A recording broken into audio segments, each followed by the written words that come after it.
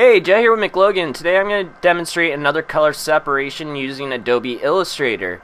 Uh, in this video I'm going to be using AccuRIP Pearl, an additional software that makes color separations and halftones extremely easy when using an output printer and an all-black ink system. Uh, in the last video I demonstrated how to separate these colors mainly using Pathfinder tools and manually manipulating the artwork.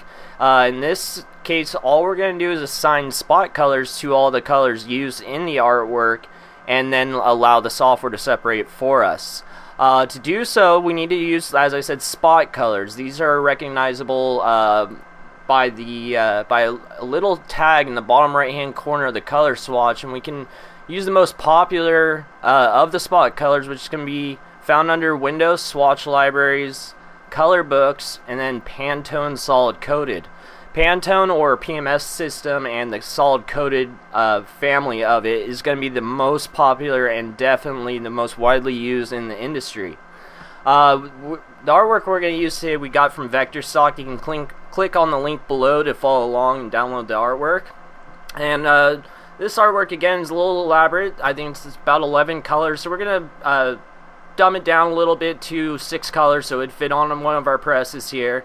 Obviously the background color is just representing a shirt so we don't need to include that. So the first part of the process I guess is identifying the colors in this job and uh, grouping them together or um, identifying them and changing them to a PMS. So if we choose this black here we see it's just a CMYK black um, and then if we go to select same uh, fill and stroke it's going to grab this extra artwork that was all the same color black and then we're going to assign it the PMS black and we see it identified up here.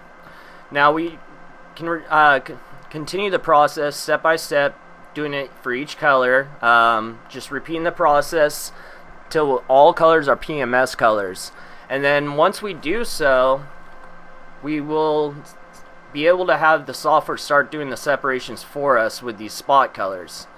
So if I open our separation preview, this is going to kind of show us what's going to happen.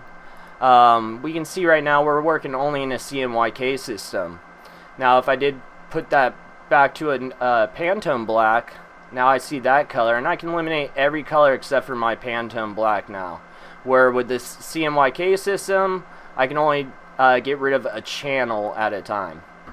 Now, rather than going through all these colors, like I said, there's about 11, and we're going to bring it down to about 6. I've already done so, and uh, we can just go over to that artwork. We see we delete the background, and now we have our artwork. So we have these all in PMS colors, and now when we see our overprint preview, we see all of our options here.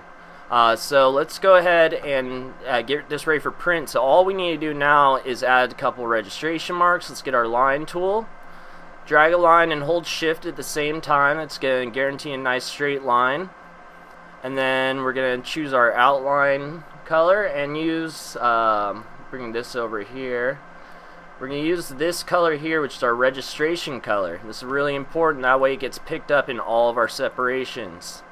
Uh, for the registration mark a one or two point line weight is usually recommended.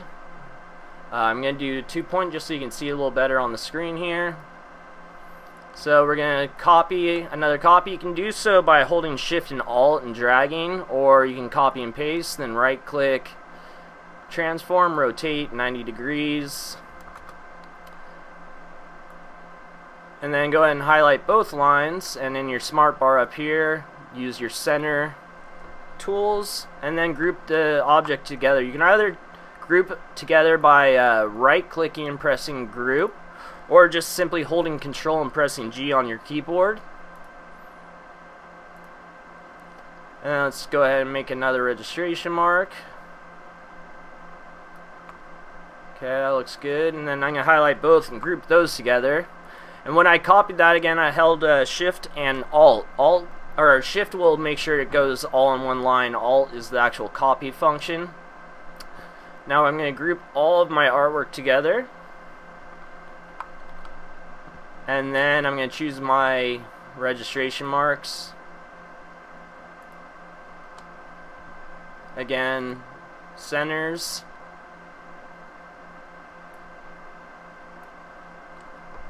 And now the really cool part. So again this is going to do all the separations for us. So it's going to print a positive that's going to look like each one of these individually. Um, it's going to do all this behind the scenes. So let's just go ahead and turn on all of our colors besides our CMYKs.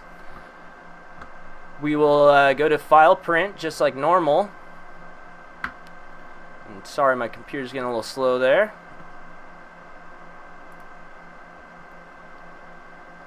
Great. So once our print dialog box comes up here, Alright, now under printer, this is very important. We have to make sure we're using AccuRIP to Epson. Whatever Epson printer we're using will be listed here. Remember, you're still going to see the Epson printer listed again in your list. Uh, it will print, but it will not print the correct way. We must use AccuRIP to Epson. Next step is marks and bleeds. I like to put the page information here. It's going to give you a little, uh, little information here at the top as far as what color separation it is. And last is output. This is going to default to composite. We must change this to separations, otherwise it's going to print everything. So once we go to separations, again we see our Pantones listed.